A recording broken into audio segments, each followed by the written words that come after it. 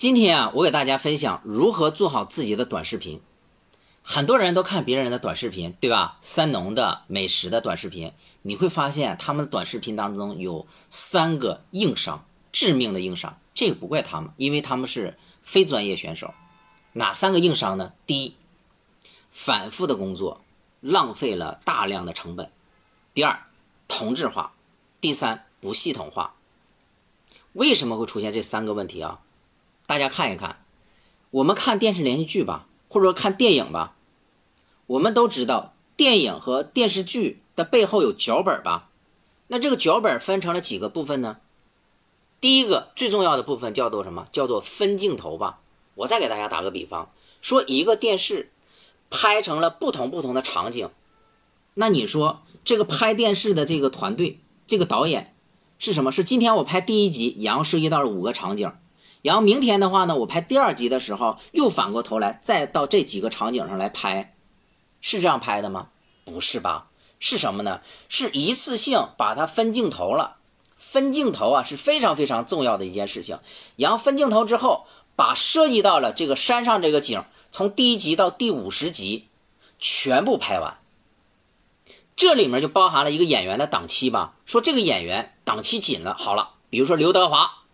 那我我只能用它十五天呀，如果要拍七十集的话，得用到什么五百天？那这么怎么可能呢？好了，要把刘德华所有所有的场景全部分镜头，然后在这几十天内全部拍完。我们拍加购和电视购物的时候，特别是广告宣传片的时候，大家做过文案、做过策划的、做过影视拍摄的人都应该明白分镜头。分镜头啊，是考验一个人啊最重要的一个能力。我们当时拍广告片是六十分钟，我做分镜头啊得做很长时间，三天四天。那我就特别特别的服啊，服人家能够拍一个电影的人，能够拍一个电视剧的人。那这个导演，这个助导真的不是一般人的。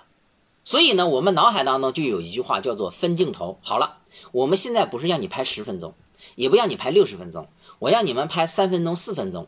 三分钟、四分钟的分镜头，那就很简单了，大概是五个到八个分镜头，或者只做五个分镜头就可以了。每个分镜头的话呢，大概不到一分钟吧，五分钟以内就可以吧。那好了，那么我们就可以什么呢？就可以大量的运用分镜头的这个逻辑。今天我拍什么景，我一次性拍完，我在我的脑海当中事先有了一个构思和有个构想，然后我大量的拍素材。我所有的素材，各种的角度，我全一次性拍完。我今天可能拍个农民，明天我可能拍一个山上的，后天我能可能拍一个地里的，大后天我可能拍个村庄的，然后拍人的，拍狗的。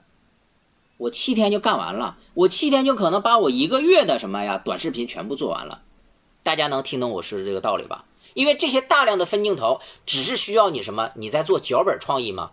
很多很多人是什么？是先有了脚本，再拍分镜头啊。这是一个正常逻辑，可是我们很多很多广告公司是什么呢？是先有了大量的分镜头之后，从这个素材库里面找这个广告片，也叫拼片这个是什么？是以小博大，是最低成本的。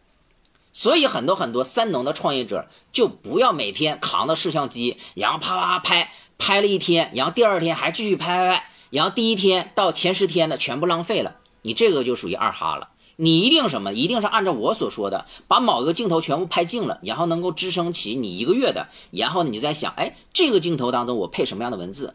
这个镜头当中我配什么样的文字？四个镜头就变成什么呢？就变成一个短视频。哎，我今天的短视频完事儿了，OK 了，然后放一遍。我一天能够做十个呀，要比你什么？要比你十天每天做一个要强得多呀。而且你什么？你会发现在你这样做的过程当中，你既解决了时间的成本，又解决了什么系统的性？因为什么？因为都是按照你先的脚本来运作，你不是随机的。比如今天我拿个摄像机，我随机性的拍，你就有断节嘛，你就不是一个系统。然后的话呢，谁也不会跟你同质的，你不会同质化的，因为你都会什么，都会把不同的形式嘛，然后把它结合在一起。我是红鹤，这段视频对于三农的美食的美妆类的特别特别重要。有什么不懂的啊？大家可以交流，这是一个专业性的，大家一定要学会啊！谢谢。